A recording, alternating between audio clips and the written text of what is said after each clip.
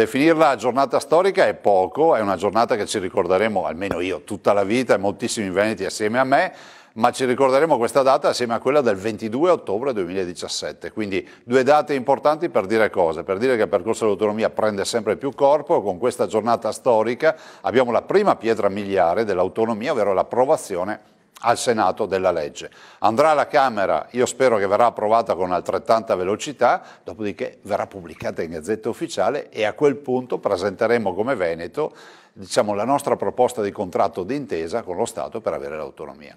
È un percorso che è durato parecchi anni, un percorso che comunque abbiamo seguito con attenzione e mi sento di ringraziare i 2.378.000 veneti e venete che sono andati a votare quel 22 ottobre 2017 per il referendum, qualcuno diceva che non serviva il referendum, ecco diciamolo cari veneti e venete, se non avessimo noi fatto il referendum oggi non staremmo qui a parlare di autonomia, il referendum è stato veramente il booster per usare un termine che spesso viene utilizzato, e quindi è stato il turbo, no? l'acceleratore per poter parlare di autonomia in questo Paese.